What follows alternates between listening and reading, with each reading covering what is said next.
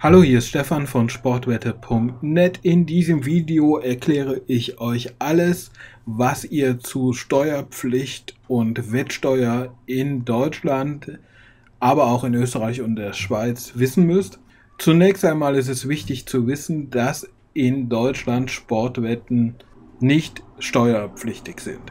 Das ergibt sich ganz einfach aus den sieben Einkunftsarten, die in Deutschland steuerpflichtig sind und keine dieser Einkunftsarten betrifft die Sportwetten. Das gilt übrigens für Glücksspielgewinne insgesamt. Also wenn ihr in einem Online-Casino spielt, dann müsst ihr auch die Gewinne nicht versteuern. In Österreich ist die Regelung ganz ähnlich. Auch da müssen Sportwetten nicht versteuert werden. In der Schweiz, das sei nur am Rande angemerkt, in der Schweiz müssen Sportwettengewinne versteuert werden, wenn sie über einen Freibetrag hinausgehen.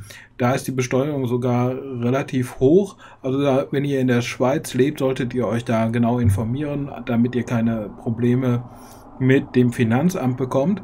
In Deutschland ist die Situation komplett anders. Und darauf möchte ich mich jetzt in diesem Video auch mal fokussieren. In Deutschland ist es so, dass der Staat grundsätzlich davon ausgeht, dass bei allen Spielen, Sportwetten etc. der Glücksfaktor so hoch ist, dass es keine geregelte Einnahmequelle ist. Das ist im Grunde genommen die Begründung dafür, dass keine Steuern erhoben werden. Das hat in den vergangenen Jahren allerdings nicht immer Bestand gehabt vor Gericht. Insbesondere bei Pokerspielern hat es diverse Gerichtsverfahren gegeben, in denen dann zum Teil auch festgestellt wurde, dass sie dann doch steuerpflichtig waren. Aber und das ist ein wichtiger Punkt, der im Grunde auch für Sportwettenprofis gilt. Zu einer Steuerpflicht kann es nur dann kommen, wenn ein regelmäßiges Einkommen erwirtschaftet wird. Es gibt im Moment keine verbindlichen Regelungen, was das genau bedeutet. Es ist aber mindestens davon auszugehen, dass wenn ihr so etwas wie einen Nebenjob als Sportwettenprofi habt und im Monat mit euren Sportwetten genauso viel verdient wie mit eurem regulären Job, dass ihr dann wahrscheinlich steuerpflichtig seid. Informiert euch aber in einem solchen Fall frühzeitig bei einem Steuerberater, dann habt ihr überhaupt kein Problem mit dem Fiskus und dann könnt ihr entsprechend reagieren und gegebenenfalls ein Geld zurücklegen, damit ihr kein Problem bekommt, wenn das Finanzamt irgendwann auf die Idee kommt, eure Sportwettengewinne zu versteuern.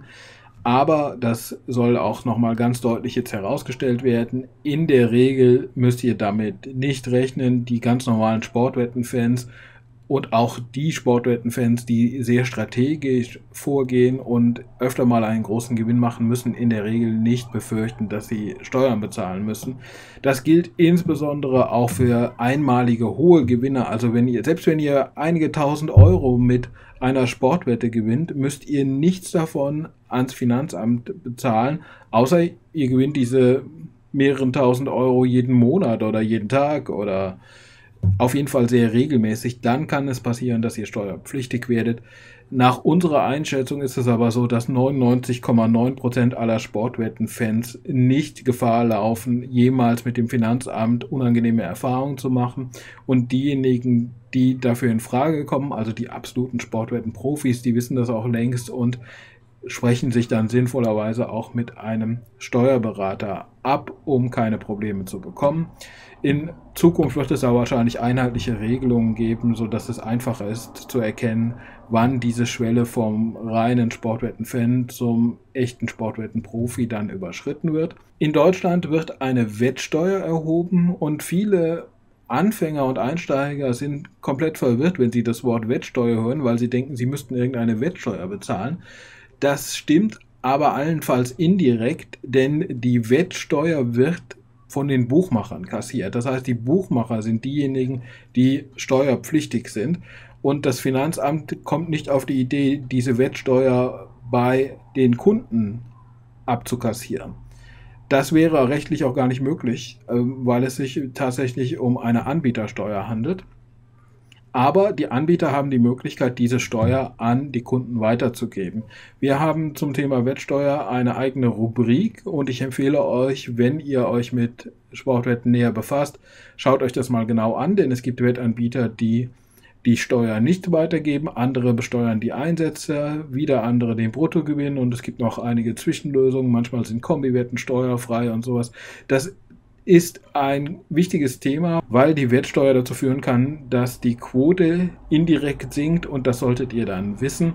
Aber ihr müsst euch keine Sorgen machen, dass ihr irgendwie bezahlen müsst, nachdem ihr die Gewinne bekommen habt. Also das Geld, das ihr von den Wettanbietern ausgezahlt bekommt, ist erstmal steuerfrei, bis auf die eben angesprochene Ausnahme. Ihr müsst euch also da keinen Kopf machen und könnt in aller Ruhe eure Sportwettengewinne genießen und entweder für schöne Dinge im Leben investieren oder aber nutzen, um aus unserem Wettbonusvergleich den nächsten Wettbonus zu nehmen und mit einer Einzahlung dann die Gewinne in neue Gewinne verwandeln. Das ist eine interessante Option für alle, die ein bisschen strategischer an das Thema Sportwetten herangehen wollen. Alle Infos rund um das Thema Steuern bei Sportwetten, Wettsteuer und auch Strategien, Wetttipps etc. Alles, was das Thema Sportwetten in irgendeiner Weise betrifft, findet ihr auf sportwette.net. Ich wünsche euch viel Erfolg bei euren Sportwetten und viel Spaß mit euren steuerfreien Gewinnen.